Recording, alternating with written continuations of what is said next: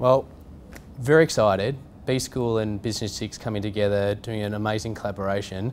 I guess who would have thought, you know, that would actually be working together after all this time of knowing each other now. How long has it been? About 10 years? Yeah, I think 10 or 11 years now.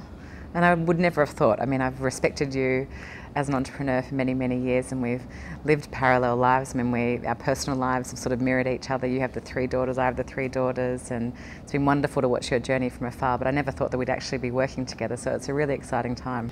And I think what's exciting at the moment is, you know, through the collaboration with us, you know, through Business Chicks and B School, is I guess we're kicking innovation and, and entrepreneurship back on the agenda again and really allowing people to access it, demystifying it and allowing any people to have that entry point to kind of, if they've got an idea or a passion, they're in a company and they want to launch a new product, it helps them, you know, navigate through the next steps. And I just can't wait to see what happens and, and what gets produced out of this whole, this whole opportunity.